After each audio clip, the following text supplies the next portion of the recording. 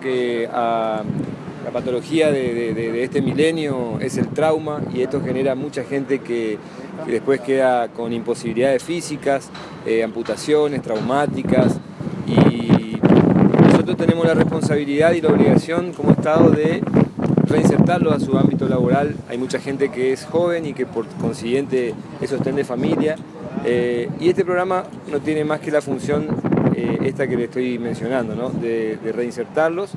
Eh, hemos visto en el seguimiento de estos pacientes cómo realmente han sido, han cambiado su vida desde el momento en que han sido amputados o han perdido algún miembro de alguna, de alguna otra forma, hasta que han pasado a ser una carga para su familia y después posteriormente cuando hemos eh, podido entregarle su prótesis y ellos han vuelto a su vida habitual, eh, el agradecimiento de esta gente, el cambio en su vida realmente emociona.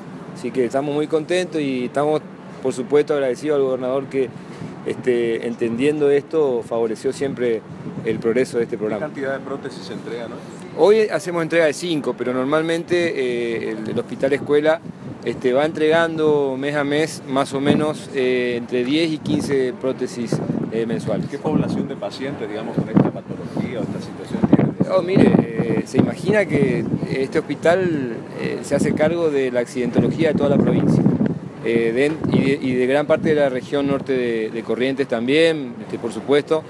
Entonces, eh, la población de pacientes va, creciendo permanentemente. ¿Mayormente son víctimas de accidentes las que reciben? Mayormente son víctimas de accidentes y gente joven, gente joven. También hay pacientes diabéticos que han perdido este, por la patología de la diabetes un miembro, pero eh, en este caso ya son gente más grande. Normalmente la gente que, se ve beneficiada por este tipo de programas son gente joven y que deben reinsertarse laboralmente.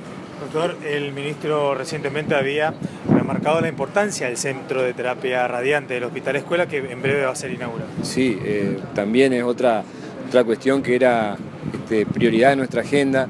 Nosotros eh, vamos a trasladar gran parte de la atención oncológica a ese lugar, eh, no solamente en, la radioterapia, sino también todo lo que significa quimioterapia y otros tratamientos que tienen que ver con, con la oncología la atención médica de los pacientes se va a hacer eh, prioritariamente en ese lugar y va a funcionar en todo lo que tiene que ver con la internación de día, o sea, eh, todo lo que el paciente viene a hacer al hospital desde las 7 de la mañana hasta las 19, 20 horas, se va a hacer en ese lugar y si en algún momento requiriera internación, sí, seguimos nosotros adentro del hospital haciéndolo.